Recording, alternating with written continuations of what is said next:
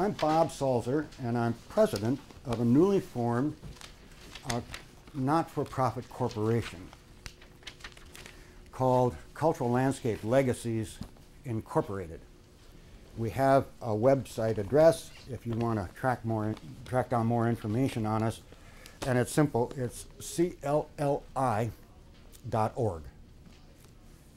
and uh, you will find uh, uh, a link in there to the Gottschall stuff. So if you want to go review it and see some more, you can. Um, cultural landscape legacies. The name cultural landscape, landscape was selected by one of our, our founding, uh, uh, uh, one of our founders, uh, John Blackdeer, a Ho-Chunk. And uh, he thought that this term most closely embodies what the interests of the Ho-Chunk are in what we do at Cultural Landscape Legacies. Um, what is a cultural landscape? I'm going to give you a definition uh, prepared, written down. The concept is a, not a new one. Uh, an, a preeminent scholar by the name of Carl Sauer, back in 1926, first coined the term and gave a definition to it.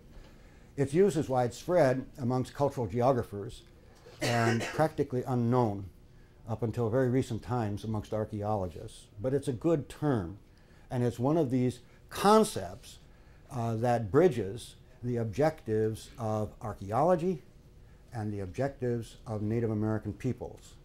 So it's a good starting point for opening up a dialogue as clearly indicated by John Blackdeer coming up with a concept. Let me read this to you because uh, it's a lot easier for me. Um, and if you have questions, I can answer them. Uh, cultural landscape is considered as an integral ensemble of all that the human eye can observe from a single vantage point. Further, it is an informed view from a selected vantage point. It is informed because what one sees depends upon what one knows. That is, to read a landscape requires informed curiosity and the skills to derive meaning from what one sees. Such a landscape is not only a meaningful piece of our earth home, but also a record of ourselves. Who we are, what we are, what we have created, what we value. It's kind of neat, isn't it? Well, there's a, a, an aspect of cultural landscapes that isn't emphasized in, in this definition, and that is that a landscape, a cultural landscape, teaches us, it informs us. Uh, someone pointed out in southwestern Wisconsin where there's lots of bluffs, they said, you know what that bluff is over there? And I said, uh, no. And they said, well, it's Ferry Bluff. And I said, how do you spell that? Uh, which way?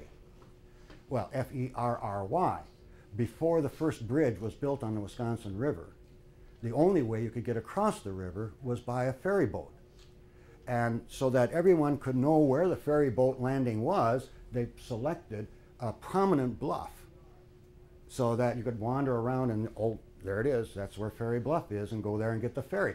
Now, you see what happened? I learned something about history and my own environment by tying into somebody else's cultural environment. It's really kind of neat. And so long as I pass this story on to you guys, then you'll pass it on. And you see how this goes. It's a cultural landscape that keeps reproducing itself all the time.